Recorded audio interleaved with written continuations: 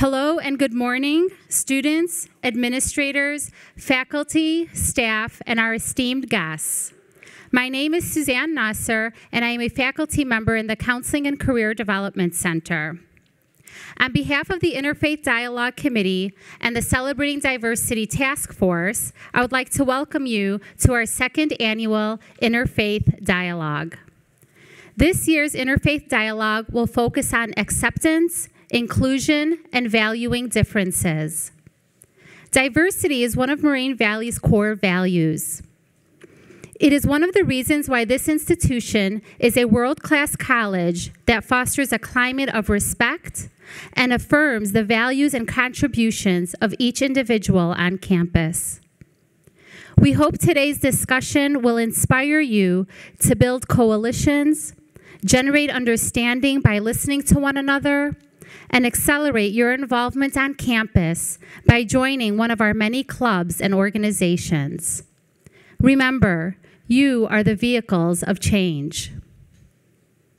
There are just too many religions celebrated around the world to include all of them in a panel like this. But we are fortunate to have with us today leaders representing five faiths we believe provide a well rounded look at the topic of acceptance, inclusion, and valuing differences. Welcome to our five panelists. Reverend Dr. Craig M. Jenkins will represent the Baptist faith. He is directly to my right. Reverend Dr. Jenkins is a native of Albany, New York. He earned a Bachelor of Arts degree from, from the State University of New York at Albany, a Master of Divinity degree from Virginia Union University School of Theology, a Doctor of Ministry degree from McCormick Theological Seminary, Reverend Jenkins has been the pastor at Beth Eden Baptist Church in Chicago for the past 29 years. He also served as the lecturer for the Department of History for the National Baptist Sunday Congress on Christian Education for 15 years. He has traveled to Ghana twice, Italy twice, Jamaica, Guyana, South America, South Africa, and most recently to Palestine and Israel to share the word of Jesus Christ. Dr. Jenkins has written two copyrighted works The Layman's Guide to 1 Corinthians and The ABCs of Character Education. And for those of you that don't already know, Reverend Jenkins is actually married to our college president, Dr. Sylvia Jenkins, who is here with us today. So, welcome to you both, and thank you for supporting our event today.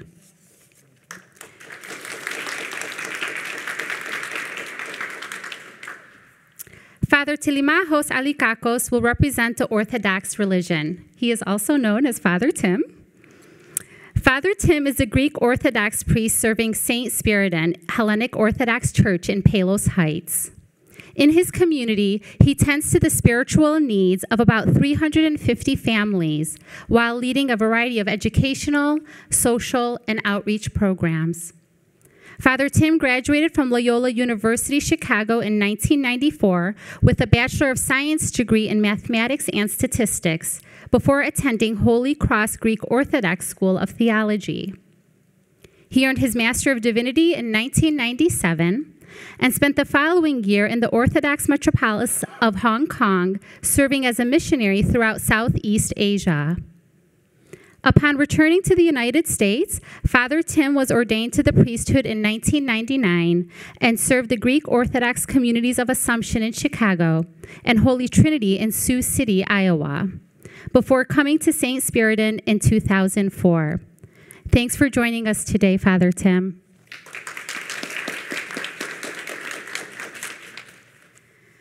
Next is Karen Danielson. She will represent Islam. Karen resides in the Chicago suburbs where she grew up. In 2011, Kieran received a master's degree in Islamic studies from the University of Jordan's Institute for the Study of Islam in the Modern World in Amman, Jordan. Since 1990, Karen's community involvement has included directing, teaching, coordinating interfaith, intrafaith, civic engagement, community service, and outreach projects and initiatives for a number of Chicagoland Muslim institutions, including the Mosque Foundation and Muslim American Society Chicago, to name a few. Karen's community involvement is wide and varied. And she has participated in interfaith activities with many religions in various community interfaith assemblies and associations in a variety of Chicagoland schools, colleges, and universities. Karen is a frequent guest speaker nationally and was a featured participant leader in the Ties That Bind documentary of intercultural women's leadership. Karen is a frequent speaker on Islam and Muslim Americans and continues to mentor Muslim youth toward being more God conscious and engaged in community for the benefit of all society. Karen also brought with her, um, she currently teaches at uh, Universal School and she has 16 of her students here. So, welcome to all of you from Universal School. Welcome to our campus. And thank you, Karen, for being with us here today. Next, we have Father Mike Grisolano representing the Catholic faith. Father Mike grew up on the South Side and graduated from Our Lady of the Ridge Grade School, Marist High School, and the University of Illinois in Champaign-Urbana. He discerned a call to the priesthood excuse me, he discerned a call to the priesthood and graduated from St. Mary of the Lake Seminary. He was ordained a priest for the Archdiocese of Chicago in 2012. He served for three years as the associate pastor at St. Julie Parish in Tinley Park and is currently assigned at St. Damian Parish in Oak Forest. It's great to have you back on campus, Father Mike.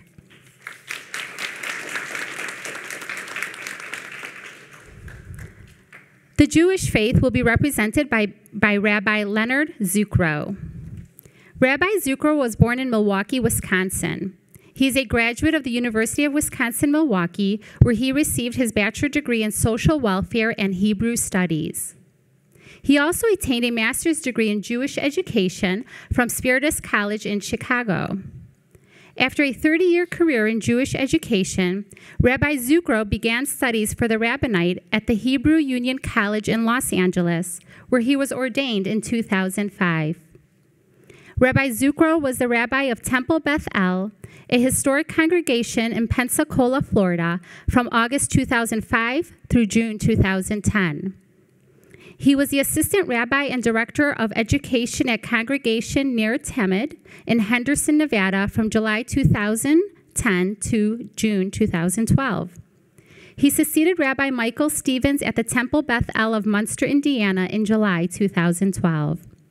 Rabbi Zukro has long been involved in social justice work, serving on the boards of a local food pantry, interfaith housing project, and hosting a television program on interfaith relations. He is a Brickner Fellow of the Religious Action Center in Washington, D.C., where he received training in promoting social action, social justice in his community. We're so pleased to have you here today, Rabbi Zukro. Welcome, all of you. We certainly are grateful to all of you for volunteering your time to be with us today, and we look forward to hearing from each of you. So, just to give you an idea of how things are going to unfold for us this morning, each panelist will have six to eight minutes to present information on acceptance, inclusion, and valuing differences within their religion. They will address the following three questions. Question one how does your religion, beliefs, approach and promote acceptance and inclusion? Question two What advice might you give someone in your faith who was struggling with the differences of others in their schools, workplace, or other settings? And finally, question three What can someone do to be proactive within their faith? In other words, how is your faith community organizing around issues that pertain to them? Following the presentations, we will open the floor up for questions. Also, please note that if this discussion brings up um, any difficult emotions for anyone, um, my colleagues and friends from the Counseling and Career Development Center are sitting in the back room. Please do not hesitate uh, to reach out to them. Um, also, our offices are in S202 um, if you need to follow up with any of us. Um, without further ado, I'd like to ask Reverend Dr. Jenkins to start us off.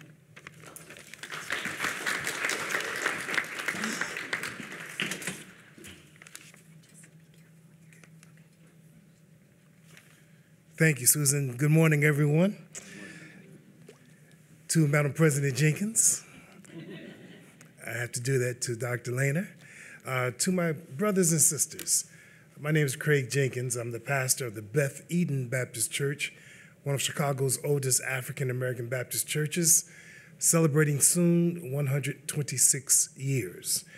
I've been a pastor, I've been in ministry as a preacher for 40 years. This is my livelihood, this is what I enjoy. My grandfather was a pastor for 54 years, my godfather for 52 years, and I think it was part of my blood that this would be the way that I would go. Just to share with you that um, before my seminary degree, I also have a master's in education. So I, have been in school preparing myself and doing that which I was doing for myself, but then realized that there's a calling in my life, and that is to make a difference in the world. In looking at what we have before us today, it is very important that we understand the importance of making a positive contribution to the society in which we live. It's challenging because we're living in a crazy world, people who are fearful, who are upset, and there's really no reason for that. And I say that because my faith teaches me. I'm a Christian, I'm a Protestant, my denomination is that of Baptist. And my faith teaches me about love, about loving one another. One passage of scripture says clearly, For God so loved the world that he gave his only begotten Son, that whosoever believes in him should not perish, but have everlasting life. There's another passage that says you got to love one another as I have loved you. So love one another. That's the principle. And as we look at accepting, as we look at inclusion, and as we look at diversity, I believe that across all faiths, there is a common denominator, and that's called love. And when you love God, when you love yourself, you can love one another. The question is raised how does your religion, by beliefs, approach and promote acceptance and inclusion? It's very simple. If you love God, you end up loving yourself. And when you love yourself, you cannot help but to love somebody else. You want to treat people the way you want to be treated. You want to show respect and be kind. There's nothing wrong with putting on a smile. There's nothing wrong with being nice. As a matter of fact, it's nice to be nice. And so often we miss it. We miss it. We, think for some reason we're better than someone else. No, we're in this boat together. We're all here together. And if we're all here together, we ought to want the best for everyone. Looking at our differences, we can find that though we're different, we're the same. I want to give one illustration. I hope it does not offend anyone, but I think I need to make it as clear as possible. It doesn't matter how young you are, how old you are. It doesn't matter the color of your skin. It doesn't matter if you're fat or tall, skinny or short. It doesn't matter how much money is in the bank. It doesn't mean it doesn't matter if you wear glasses or not. It doesn't matter the type of food that you eat. It doesn't, it, it doesn't matter who your friends are.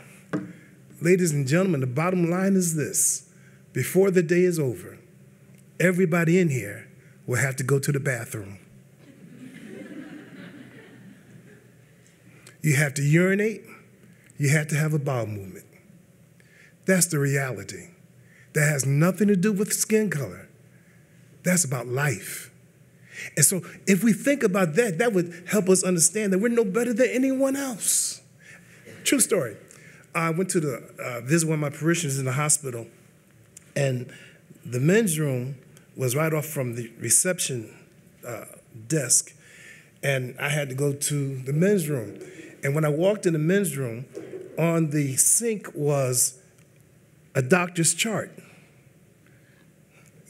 Now, I know that doctors have their own rest area, but when you have to go to the bathroom, you have to go. And so there's this chart with this patient information. And so I walked into the bathroom and I took a quick look to see if I knew anybody. But the reality was this even the doctor had to go to the bathroom. And all I'm saying is that we mess up so many times by, by confusing things skin color, our language, our conversation, and we try to be judgmental in things along those lines. I'm here to tell you that's not right. I just come back from uh, Israel, Palestine, last Thursday, just got back. And uh, I went with a group to explore justice and peace. It's a night and day difference, ladies and gentlemen, with the Israeli and with the Palestinians. It's night and day. Things are not fair. God created enough for everyone to enjoy, to have, to embrace, to appreciate. But there, it's, it's really a system that, that's not healthy for the world. Read, read the newspapers, read what's going on. It's not healthy. But we all want to go to heaven. We all want to be in that place where God has, but we can't get there if we can't treat our brothers and sisters right. How can I say I love God that I haven't seen and hate you that I see every day? Something's wrong with that picture. And so God challenges us, God looks at us. And so I want to say to you that in being proactive, be positive.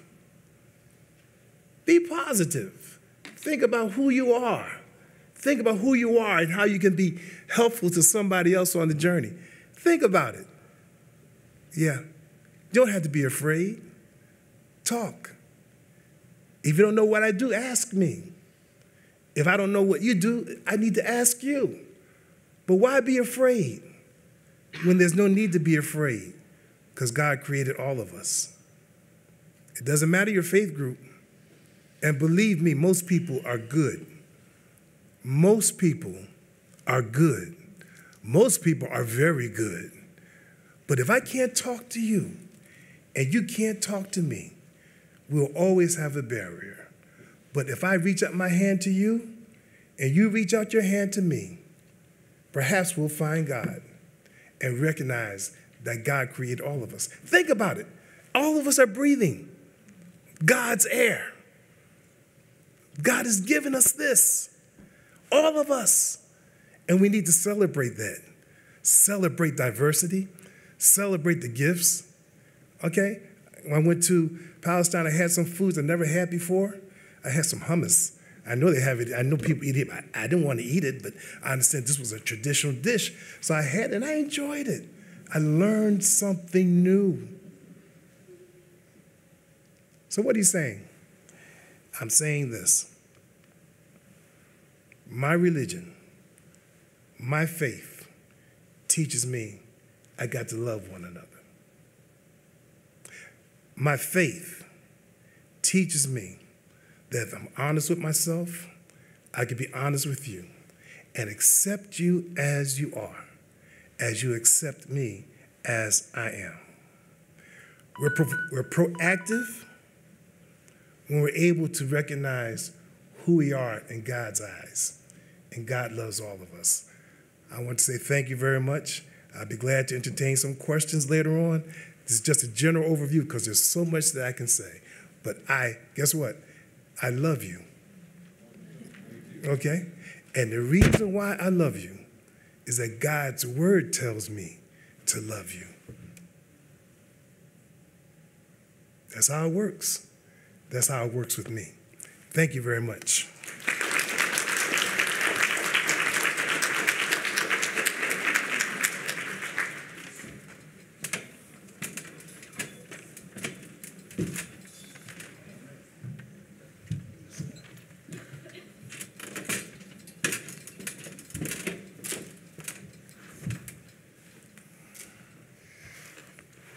Morning. Good morning.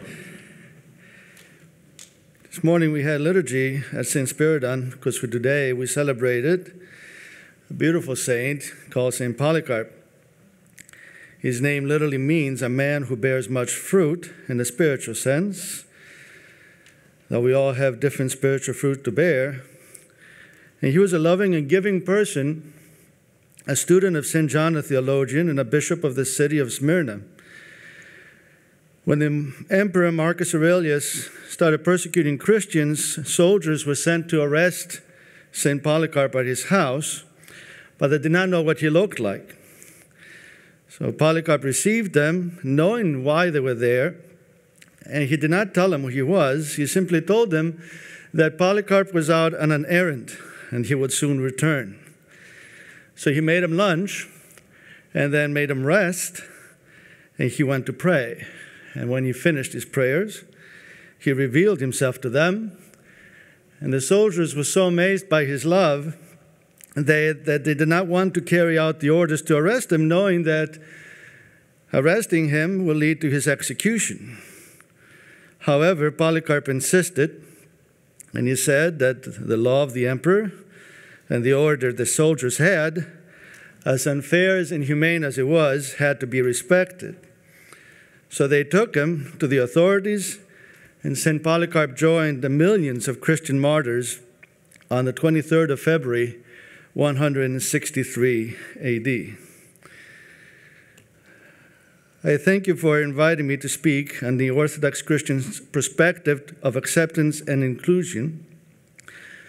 Two acts that are based on the fundamental principles of our faith, which are love and freedom.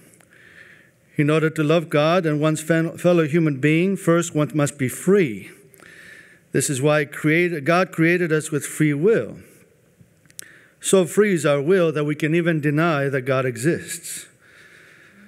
As Orthodox Christians, therefore, we're called to respect the freedom of all other human beings to worship, to live, and to conduct themselves as they so choose. Ideally, as Orthodox Christians, we like to be afforded the same freedom, even though, as often is the case, as it was in the life of St. Polycarp and myriads of others, it's not so. Having said that, we as Orthodox Christians wish that everyone's freedom be respected, that do not label one another, that we do not marginalize, stereotype, condemn, or harm anyone in the name of righteousness or ideology, for we're all imperfect, but free, children of a loving and merciful and free God. In Orthodox Christianity, acceptance and inclusion is experienced in two different levels. The first one is the one I just described tolerance and love for all human beings, for we're created by God. We heed by the words of Jesus to love friend and enemy alike, to focus on our own imperfections rather than the imperfections of others, to see the face of God in every single human being created in his image and likeness. When we struggle to come to terms with others, the solution lies on our ability to become more like God rather than others to be more likable to ourselves. When other people's behavior or lifestyle become challenging in our work, or school, or even in our church, remember that our own behavior may be a challenge to them. The divisions we cause among ourselves are artificial, certainly challenging in the presence of a loving God who wants all of us to be one, to come together, to love Him and one another without condition is the way I see it.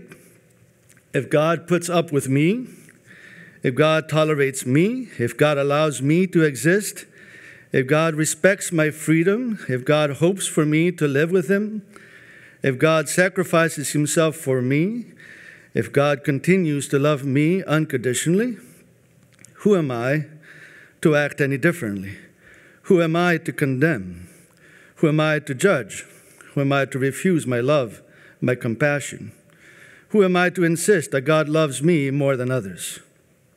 In God, we're all one, we're all imperfect, we're all called to be His children. On the second level, the Orthodox Church, in order to guarantee the first, the Orthodox Church places demands on this acceptance and inclusion when it comes to our sacramental life. Even though all are invited, those demands are required in full participation in the life of the church. While being commanded to love all people unconditionally, likewise respecting their freedom. We as Orthodox Christians see ourselves as a people who have been called to freely commit to limit our freedom in covenant with God in response to His love, who asks us to align our will to His commandments, to the will of a historical God, Jesus Christ, to a way of life revealed to us within the church, the scriptures and our holy tradition lived and inherited from those who came before us. Our faith's approach to acceptance and inclusion has very much to do with being acceptable to God in the model of Jesus Christ, a specific person in history who expressed his will on how to live our lives, on what should be important. Inclusion and acceptance within the Orthodox communion is not tethered to the continuously adjusting norms of accepted human behavior. What constitutes acceptance and inclusion in the communion of the Orthodox Church is not swayed by the view of the majority of its faithful or the current view of what Jesus would have said or what Jesus meant. Our communion with God is communion with a historical Jesus, with those who communed with him before us, an organic connection with Jesus Christ, and all those before us, accomplished by the Holy Spirit, which is a spirit of unique truth, guiding everyone who followed Jesus through human history. This is a reason why, in the Orthodox Church, full participation in the sacraments and in Holy Communion in particular is limited to those who have embraced this calling to a specific way of life and a specific way of knowing God. Why we live by the compassionate, merciful, and tolerant, forgiving, and salvific manner by which God has dealt with humanity, especially in the ministry of Jesus Christ.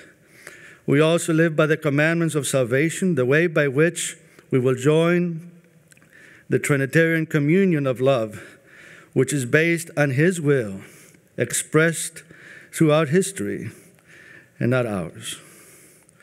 So, to our people who struggle with an ever changing world and cultural landscape, we instruct, as the Orthodox Church, that all human beings of all creeds, all races, lifestyles are loved by God equally. When we draw lines within our Orthodox communion, we challenge ourselves to live up to a specific view of a historical Jesus, revealed to us by the presence of the Holy Spirit, safeguarded within history of generations before us. In so doing, as Orthodox Christians, we focus to keep perfection in sight, acknowledging our imperfections and always struggling against them. As a community of Christians living by this calling, we do not condemn others who do not know it or do not follow it. We follow our calling freely, and everyone is free to follow theirs. We draw lines in terms of our sacramental life because our sacraments are not symbolic, they are real, a holistic connection with a historical God, whom we know in a specific and unique way. Therefore, we will speak of our way of life only when asked and only out of love. We will point out Christ as we see him more by the way we live rather than by the rhetoric we use. We live our calling not to exclude others, but to present the Christ we know to all who wish him to know him the way that we do. We always remember that just as God loves all of us, imperfect human beings, you respect the freedom of all other human beings and love them as they are. We love them even though they might not realize the unmistakable truth that we are all imperfect. We're all in the need of the mercy of God. We all strive and live and breathe with a desire to be one, so that, for that is the way that we were made, in the image and likeness of a Holy Trinity Father, Son, and Holy Spirit, a communion of persons who, out of love, have always been, are, and always will be one. Thank you so much.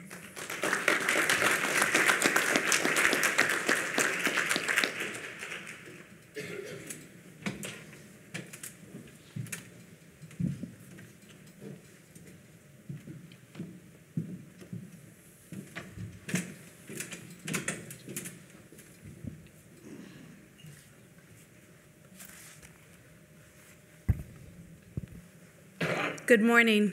Assalamu alaikum. I greet you with the greetings of peace.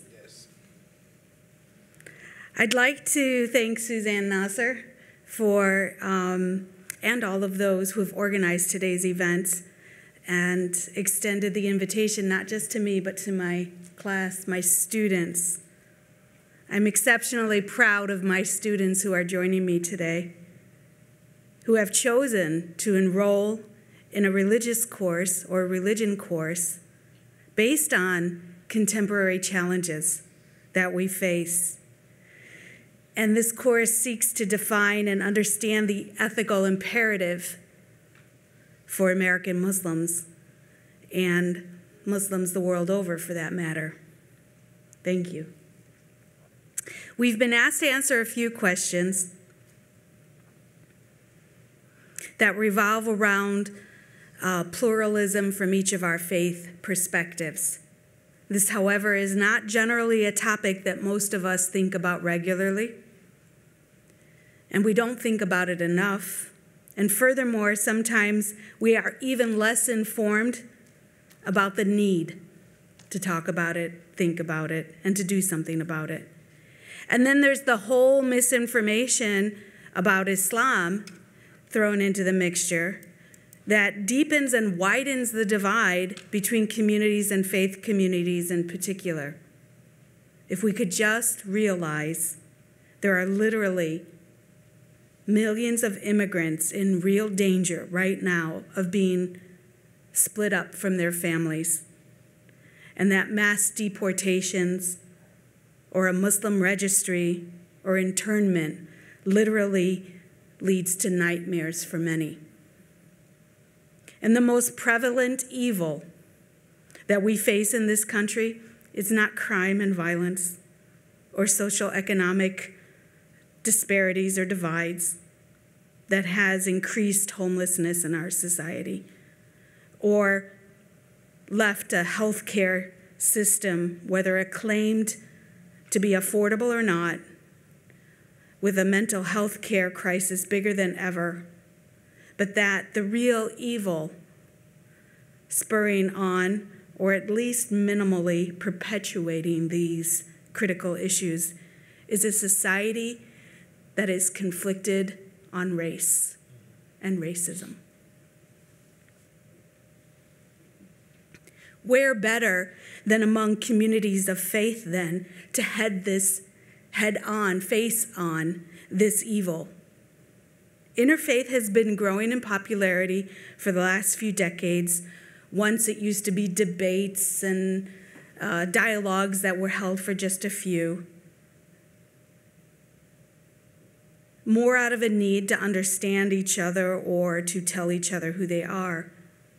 But recently, it's out of a need to face hate and bigotry with a solid front.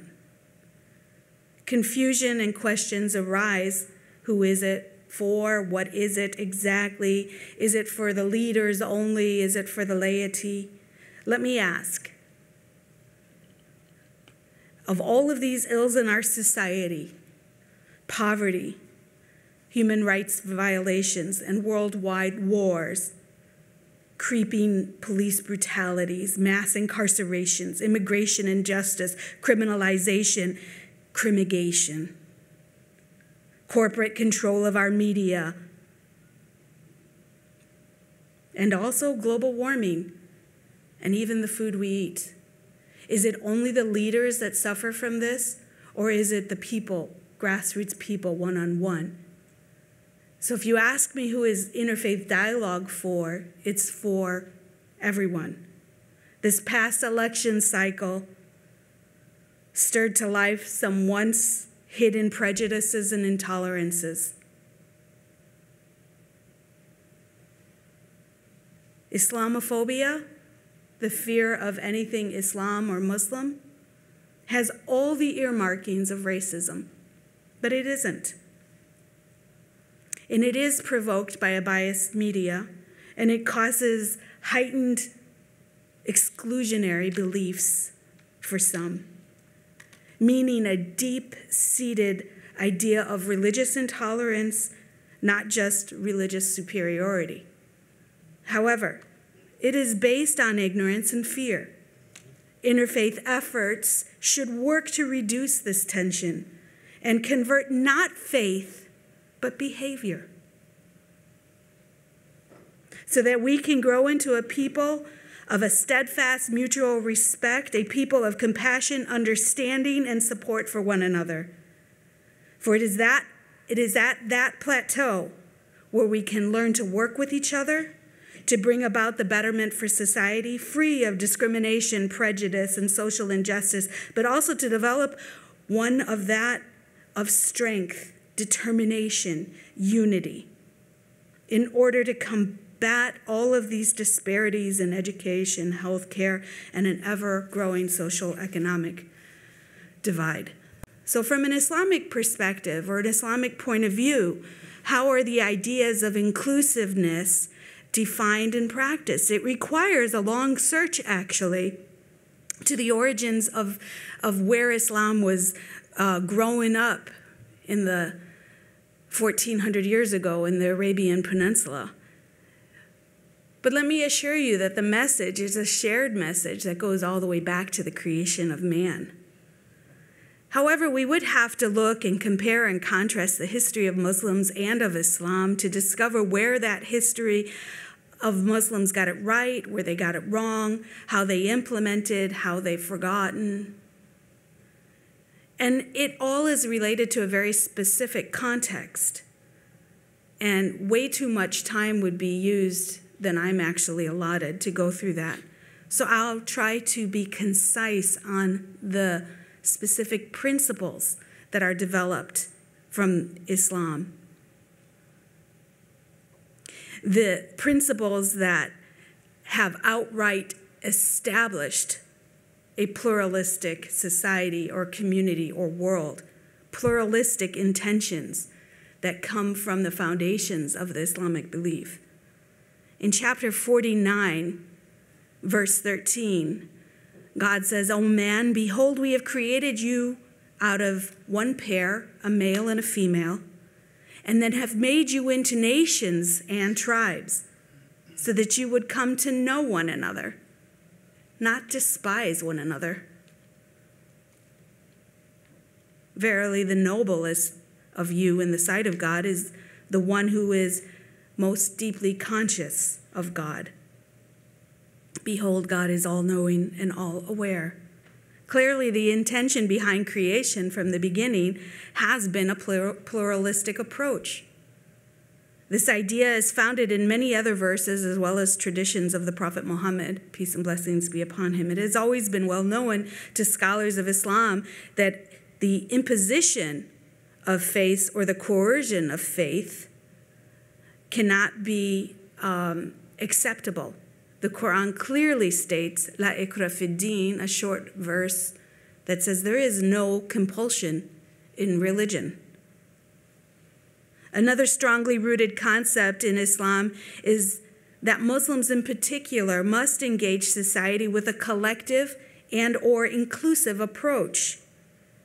Here in the following verse, God is commanding Muslims how to address even those who have opposed them or at the very least, don't share their same faith. In the fifth chapter, verse 2, O you who believe, and it goes on, help you one and of another in bir and taqwa, or in virtue, righteousness, and piety. But do not help one another in transgressions and sin, and fear God. In the example of the Prophet Muhammad, peace and blessings be upon him, once a visiting Christian delegation actually stayed inside the mosque where they were permitted their religious services in one section while the Muslims prayed in another section. And finally, the last piece I'll reference today um, in regard to a pluralistic approach, principled approach from an Islamic point of view I, I'm going to borrow the words of Reverend Dr. Daniel McLaren, and I'll wrap it up with a verse from Quran to tie it together. He wrote a book based on a joke or a riddle, which is funny because it isn't funny. It catches the attention. It's using what is known as anti humor to elicit a response off the beaten path. It was first uh, put to print in 1847, I believe, and it goes something like this Why did the chicken cross the road? It depends who you ask. If you ask Grandpa, he might have said, Well, in my day, they said chickens crossed the road, and that was good enough for me. If you asked Einstein, he might have said, Did the chicken really cross the road, or did the road move beneath the chicken? Sir Isaac Newton, well, chickens at rest tend to stay at rest, chickens in motion tend to cross the, the road. Hamlet, that is not the question. And Colonel Sanders, did I miss one?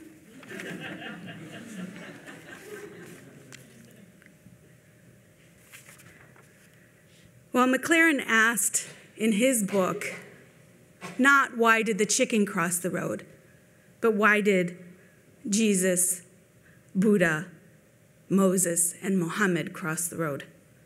First, before getting to the punchline, if there is one, think, imagine four of the world's greatest religious leaders not fighting or arguing, not damning or condemning, not launching a crusade or a jihad, but walking together, moving together, leading, leading together. Doesn't this just recoil some of our already preconceived notion and ideas of religion? That religions are incompatible, disharmonious, or even hostile towards one another? not implying that faith blend or merge together, but become or become watered down, or that conversion take place, but to discover a common ground, a common good.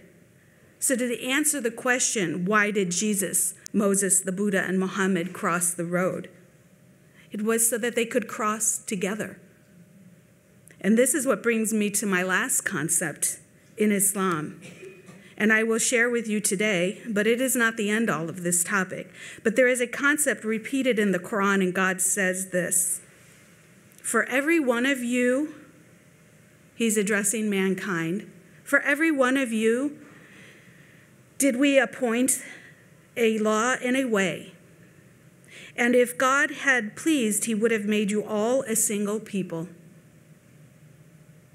but that He might try you in what He gave you. Therefore, strive one another and hasten towards virtuous deeds. For each religious following, there is a direction toward which it faces. So race all to all that is good, wherever you may be, and God will bring you forth for judgment together. Indeed, God is over all things competent.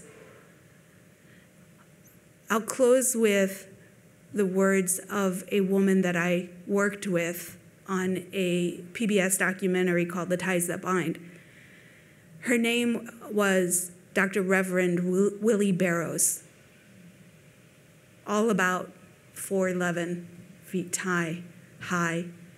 She was an amazing woman who walked alongside the civil rights movements with Martin Luther King, helped formulate uh, uh, the breadbasket for Chicago and, and Jesse Jackson's Rainbow Push organization.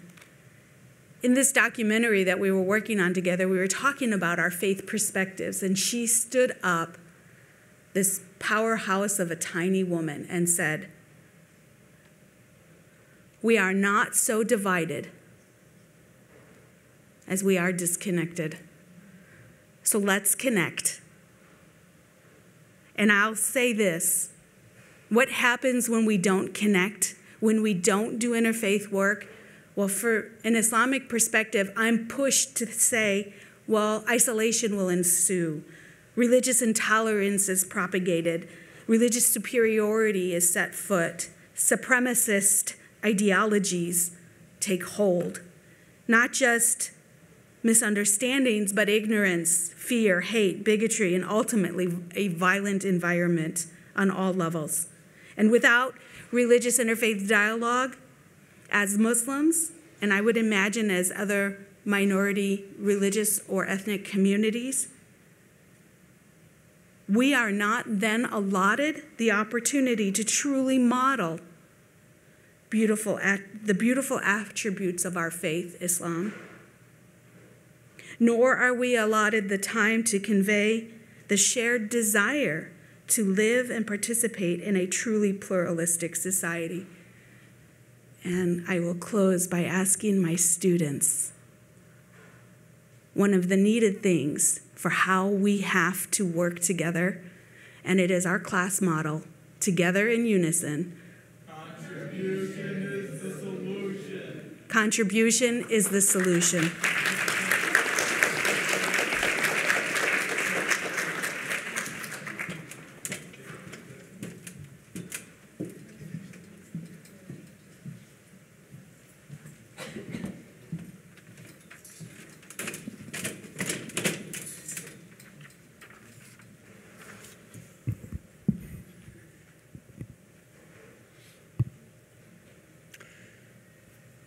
Again, my name is Father Mike Rosolano. I'm getting over a cold. Hopefully, I can be heard okay. In answering the first question as a Catholic priest, I thought I would share with you a scene from a movie that might help illustrate the point. Over a year ago, I'm a big Star Wars fan. Over a year ago, they came out with The Force Awakens.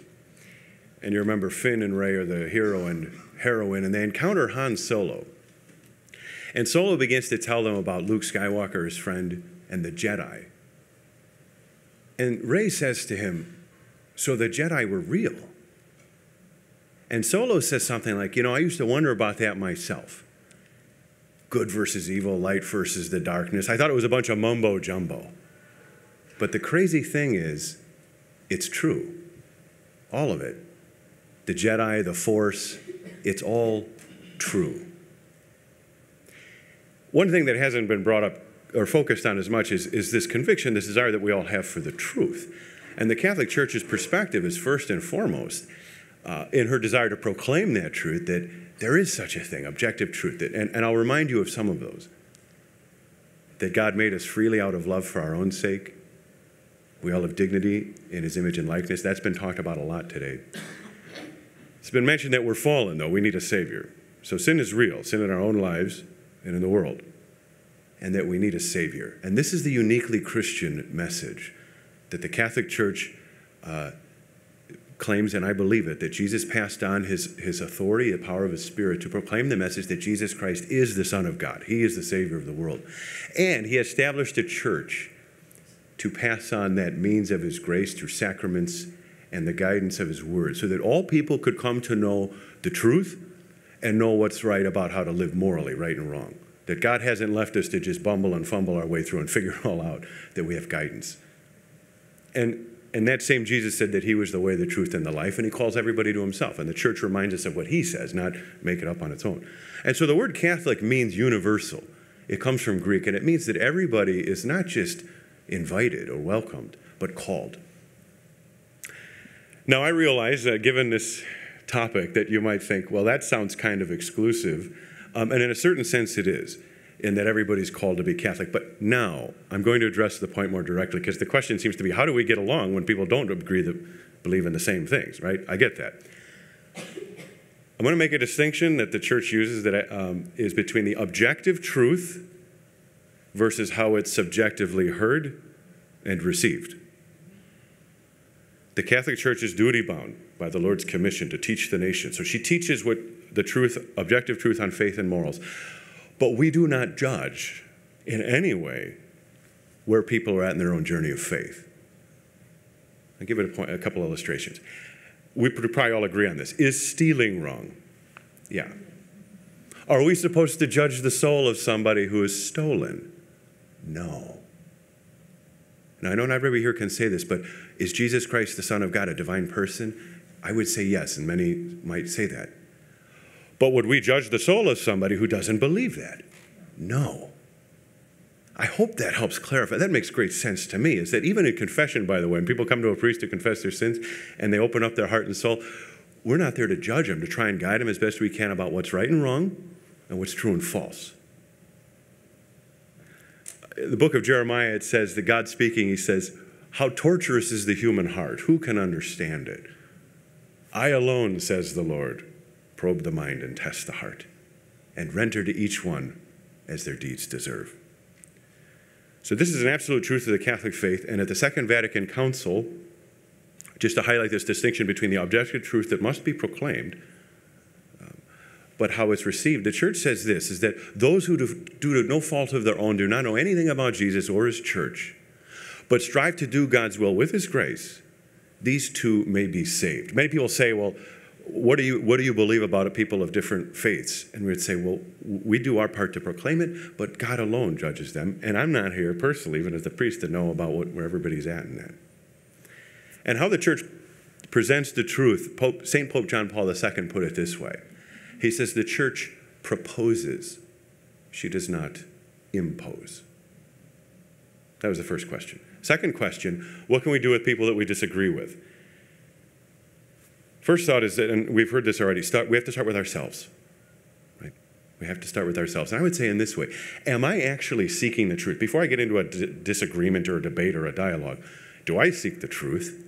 And do I wish to share that truth with others out of love for them, for their sake? to see the beauty of whatever I'm saying. So our motives do matter in that. Second, do I know what I believe and why? I have a friend I grew up with, both Catholics. I roomed with him after college. And while I was my, on my way into the seminary to be a Catholic priest, he was on his way out of the Catholic Church. And just last year, I spoke with him. And he said, Mike, I love being Catholic. I said, Well, well why did you leave? And he paused and he thought, he said, Oh, I had good reasons. I said, Well, that's great. What were the reasons? He said, I can't remember, but they were good reasons. What's the point? Do we know what we believe and why before we get into any discussion or debate with anyone? Let's be clear. And I would say on the epic questions of life why am I here? What is right and wrong? Is Jesus God? Did he rise from the dead? You know, we should have some clear answers in our own mind why we believe what we believe. Third element the church church's principle in ecumenical interreligious dialogue is that can we can we in the past people might have focused initially first on their differences can we first talk about what we objectively really agree with others on listen to them focus on what's common before trying to stress and highlight the differences connected with that you might get to a point where you say i just can't objectively agree with you on this matter can we think of subjective motives or reasons where people are coming from that we can sympathize with. And I'll offer another illustration. God rest his soul, our previous cardinal had met eight years ago with our previous president. When President Obama was first elected, Cardinal George was the head of the U.S. Conference of Bishops. And he told this story when we were in the seminary. Some ears perked up, something they haven't heard before, right? Well, he shared this story that he went there and they found common ground on how to help the poor. They really discussed how the church could help them, uh, this administration. At some point, though, the topic of abortion came up. And Cardinal George said that President Obama has a very charismatic and, and appealing way where he, you really wanted to agree with him. And so the president said to him twice, he said, You know, Your Eminence, deep down, I think we're really on the same page with this issue. And Cardinal George, in his own way, said, No, no, no, we're not. Later on, publicly in his in speaking, I heard President Obama say that basically, that those two positions, whether you think the unborn human uh, what pro-choice is okay, that the unborn life can be taken for a greater, what seems to be a greater good, or the pro-life position, which would say, no, they're irreconcilable, correct? And he admitted that too. But even here, you might say, well, uh, how can we relate to somebody that we disagree with? By the way, the Catholic Church says that the thing itself is objectively wrong. I would say the subjective piece. Can we sympathize with a person's reasons and try and help those? Maybe a young person is, a young woman needs money, schooling, housing. She needs a support network. She doesn't have any of these things. She's afraid. We would say, well, we can help with that. We can't go with you down this other path, though. Can't do that. What I hope these points show, this difference between the objective and subjective, is that we can apply that principle of trying to, to profess what we believe, even passionately, but for the, uh, the sake out of love for other people, and also respecting their subjective reasons might be good, and ultimately wanting everybody in heaven as God does. The third question, briefly, what, what is your faith doing around certain issues of the day? And I wanted to speak to one that's very, um, very timely, and that's immigration. The Catholic Church, you can look on the Catholic, uh, the U.S. Bishop's website, and you can learn about the, the church's position about how governments, what their duty is on this topic of immigration. And there's two objectively good things that I don't think we hold in balance much in discussion. And here's the first one the church says this the more prosperous nations are obliged, when, to the extent that they're able, to welcome the foreigner in search of security and the means of livelihood, which they can't find in their own country. So, first, to be welcoming, and we are one of those wealthy nations, I think we could agree. Biblically, you'd find examples of this in the Old Testament where God constantly reminds the Israelites, where He says, You were strangers in a foreign land once, so be just, be compassionate, be welcoming to the resident alien in your midst, right? For Christians, we know the story of Jesus, Mary, and Joseph, the Holy Family, when King Herod the tyrant was killing the, the children of two year old two year old boys and under. They had to flee from, from a tyrant to go to Egypt. So there's biblical basis and clear command from the Lord to be just, to be welcoming and gracious as, as best you can. But there's a second principle that's objectively good as well, and that is that the duty of a government to secure borders reasonably um, for the sake of the common good, and that people coming into their new country would try and respect the laws and, and integrate as best they could. And I think that's reasonable. People can see that there can be an orderly process to anything, and something with the mass movements of, of millions of people can be done in an orderly way, where people um, of goodwill and using their reason can discuss how that would happen. The Lord didn't tell us how many visas to issue every year. I mean, there's details like that we just don't know, that, but we can try and be gracious and generous and work together in that. And I think we could answer, any person here can answer yes to both those. Do I agree that as a prosperous nation, we should be generous in accepting and welcoming refugees? Yep. And do I accept that there should be just laws governing the process for the sake of the common good? On that matter, you might find that you, you're much more sensitive and aware of one of those two objective points, and that's fine to be passionate about it. Can we at least hear where the other's coming from and accept it that maybe they have a good point as well? In conclusion, I would say that the Catholic Church does teach that there is, in fact, objective truth about God and what He's revealed about morally what's right and wrong. It is centered around the person of Jesus Christ, who calls people to Himself through an actual uh, uh, church. Now, secondarily, nobody, no human being is to judge where anybody else is in responding to the call of God, where people are at in their own faith journey and their journey in life. We, we do present the truth as we see it and passion about it. Can we do it for other people's sake, uh, for their own good, um, and, and desiring ultimately their, their salvation? I'll just close with a quote from St. Paul in his, uh, in his letter to Timothy. He says, For God desires all people to be saved and to, the, and to come to knowledge of the truth. Thank you. God bless you.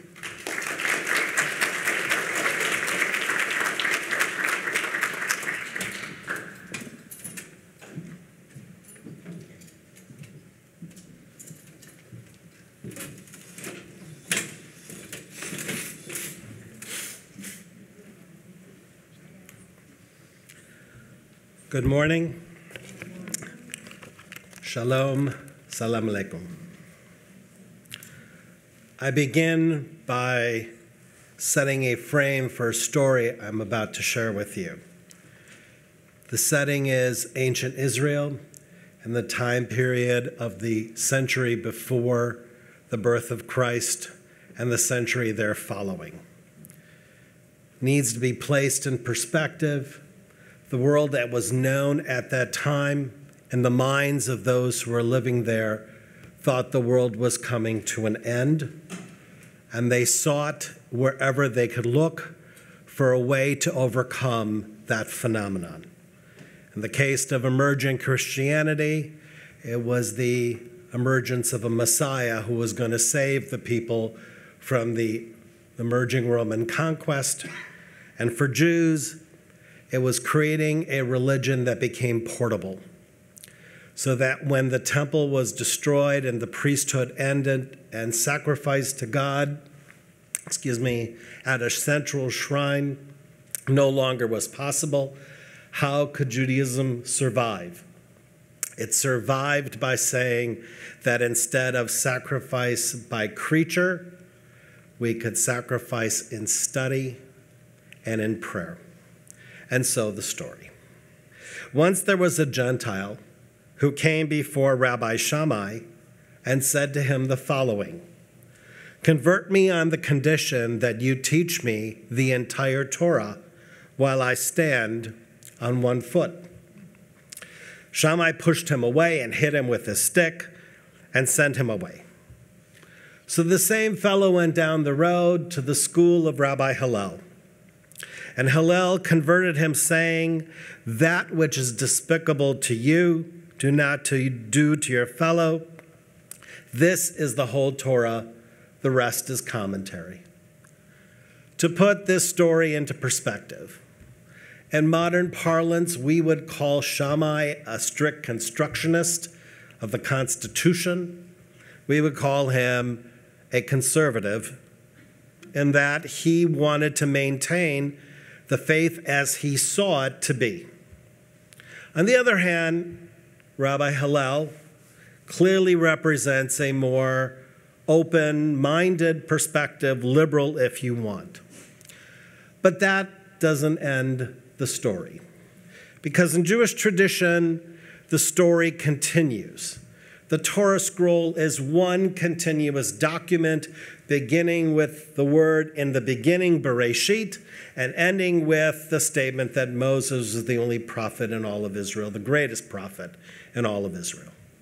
There's no punctuation, there's no question marks, there's nothing that tells you where a verse begins or ends. And therefore, the story continues, and the story continues through commentary. So, centuries later, Rabbi Shlomo ben Israel, who lives in southern France, offers this take on this story. He says, quoting the book of Proverbs, Your fellow and your father's fellow you should not abandon. The verse in Proverbs, as well as this statement of Hillel, is referring to the Holy One. So do not abandon his words. For if you find it despicable when your friend abandons your words, or another explanation is that it's referring specifically to your friend, and Hillel enjoys him not to rob, steal, commit adultery, and other commandments that are similar. There's more. In a work written by Rabbi Horowitz, a Kabbalist, he takes this one step further. It is written, and you shall love the Lord your God. It is also written, be loving to your neighbor as one like yourself. So let's see how these two loves are connected and united by God's own unity. Similarly, in Jewish liturgy, we finish the morning prayer preceding the declaration of God's oneness with he who chooses his people Israel with love, and in the evening, he who loves his people Israel. And when we say the Shema, which is this declaration of God's oneness, following it immediately is, and you shall love the Lord your God with all your heart. The Ten Commandments also end with the Hebrew words Asher l'reyecha, or that is your neighbors. See that others have noted that the Ten Commandments contain, and now I'm going to enter into a rabbinic device called gematria. Gematria is a wonderful tool. What it is, is each letter of the Hebrew alphabet has a numerical value. So Aleph is one, Bet is two, Gimel is three, and so on. Let me give you an example before I return to Rabbi Horowitz's example a child becomes bar or bat mitzvah, a son or daughter of commandment, when they turn 13. The rabbis say, what is the equivalent of 13? It's the word echad, oneness. What does that mean? It is the moment in their life where they attain physical and spiritual maturity together. So, with that as an example, let me return here to how it works in this case. The others have already noted that the Ten Commandments contain 620 letters, which is the numerical equivalent of the word keter, which means crown of the Torah. 613 letters symbolize the 613 commandments in the Torah. For each letter embodies one of the commandments.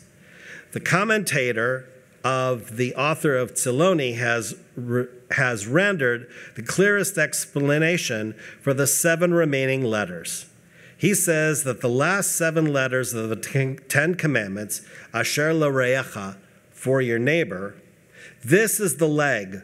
And remember, we started the story at the beginning talking about the leg on which the proselyte comes to Shammai and says, Teach me the whole Torah, standing on one leg. We're coming back to it. He says, This is the leg upon which the whole Torah stands 613 commandments.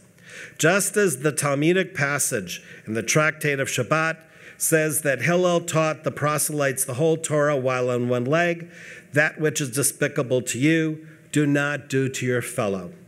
This is the whole Torah, the rest is commentary. Go and learn it. In truth, one who reads carefully will find that most of the commandments depend on loving one's friend as oneself. The mitzvah of tzedakah, of tithing, of charity, of leaving the gleanings of the field, good faith in business, the prohibition of taking interest in many others. Similarly, all the qualities of mercy, forgiveness, forbearance, compassion, giving one the benefit of the doubt, and not standing idly by the blood of your kinsmen, distancing oneself from gossip and slander, distancing oneself from frivolous clowning, jealousy, hatred, or checking one's anger, and not seeing honors as well as thousands of other qualities, all hinge on whether a person is truly loving of oneself as himself. Most of us have seen depictions of the Ten Commandments and see them as tablets with two sides. If one were to look at these two sides, the first five commandments describe a relationship between man and God, while the second set define relationships between man and man. Clearly, what is operative here, and clearly, what is essential to the Jewish understanding of how we engage with each other, is that we are relational. We are in relationship with God, we are in a relationship with each other. There is both a, ver- a vertical and horizontal access. Judaism calls us to relate first and then do the task, a teaching I just learned this weekend. So, how does this operate? Most of us are familiar with the story of Abraham. Abraham commits himself to God through the act of circumcision. He's not a young man when he does this. It's normally done to an eight day old infant. So he is in great pain recovering from his surgery. And where is he? In the front of his tent. And what time of day it is? Is it in the heat of the day? And where and what is he doing in the heat of the day in the front of the tent? With all the flaps open, allow the full heat to venture into the tent. He is waiting for visitors because maybe someone will come by. And indeed, three messengers come by who he does not know are angels to announce to him that his wife Sarah of old age will indeed bear a son who will be Isaac and the progenitor of the Jewish people. But what is embedded in that story is much more. What's embedded in that story is a notion of audacious hospitality. And so, very much in the Middle Eastern culture of its time, remaining to today, the idea of bringing someone into your home and welcoming them and sharing a meal together is very much part and parcel not only of Jewish culture, but Islamic culture as well. And I know this personally because a few weeks ago we were hosted, we have a clergy group in Munster, Indiana, where I'm from. We were hosted at the mosque. And the imam brought in trays and trays and trays of food. Pastor Jenkins, you should come join us sometime because it's amazing stuff. For me, it was like being back home. It was like being back in Jerusalem or Tel Aviv or wherever I find myself in the Holy Land or the time I was in, in Jordan. What I noticed that struck me was the imam waited until all of the guests were served and then they served themselves. This, my friends, is audacious hospitality. Another story about relationship. Many of us are familiar, I hope, with the book of Ruth and the story of Ruth and Naomi. Ruth has two sons. They marry Moabite daughters, and the sons uh, contract some kind of illness and die suddenly. She is left with these two foreign daughter in laws, and she says to them, Go back to your families, go back to where you used to live. One does, and Ruth does not. And she says to her mother in law, Wherever you go, I will go. Wherever you lodge, I will lodge. Your people shall be my people, and your God my God. What happens for Naomi through Ruth's love, and there is a word I cannot translate, it's called chesed. If you look it up in the Bible, it'll say loving kindness, but that barely comes close to fully understanding what this word means. And through that love, through that chesed, through that kindness, through that relationship, through that combining together, she redeems Naomi from her mourning. And what is Ruth's reward?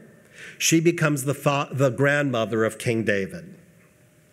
Each found in the other godliness within. Why? Because they recognized that each was created in God's image. If that is true, then the matter is to act on it. And acting it is found in mitzvot and other commandments. Let me present one case, and I'm going to go through it quickly for the matter of time. In the book of Leviticus, it states that God provided commandments so that you shall live by them. What does that mean? How can you live by them? Well, what is the case if one had a commandment, such as observing Shabbat, which has many restrictions that may result, if you don't violate the Sabbath, you could die on it. Here is the example someone has a heart attack, they're Shabbat observant. You're not supposed to use the telephone. If you use the telephone to call 911, you're violating the Sabbath. Clearly, that is not the intent of the Levitical rule. So, what do you do? What is interesting is the rabbis engage in a long conversation about this. I'm not going to take you through the entire argument. It is a full page of the Talmud and more, each of them debating the finer point of what is already known. And that is, how do we, how do we justify the right to break this rule? And the final comment is that commandments were given to live by them and not, excuse me, and not die by them. So, what's the conclusion? Clearly, we are to love our neighbor as ourselves. Why? Because we normally don't read the B part of the verse. The B part of the verse says, Love your neighbor as yourself, for I, the Lord your God, am holy. It's relational. Holiness is relational. Holiness demands of us to be inclusive. We have to ask ourselves the question who do we carry with us? Who are our models? If they are people of holiness, then we, then we achieve inclusions. Commandments are given to live by and be guided by, not to circumscribe us. Hillel's statement remains operative and as the answer to our question of the day what is the guiding principle of inclusion? Do not do unto others what you would not do unto yourself. Thank you so much.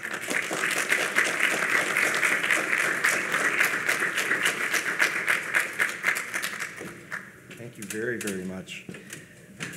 On behalf of Moraine Valley Community College and the Diversity Committee, we thank all of our leaders for sharing their perspectives. Let's give them one more round of applause. Now, here's one thing we can take away no matter the religion or the faith. All faiths have love, acceptance, and inclusion at their core. Now, as a thank you for being on our panel, we thank all of you for taking time out of your busy days to join us. And um, we would like to offer you all a gift from our bookstore, uh, a 50 year anniversary basket. So we thank you again.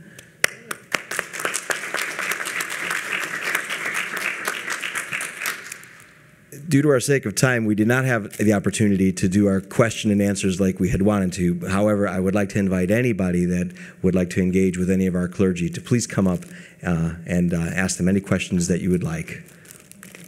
Thank you. Thank you.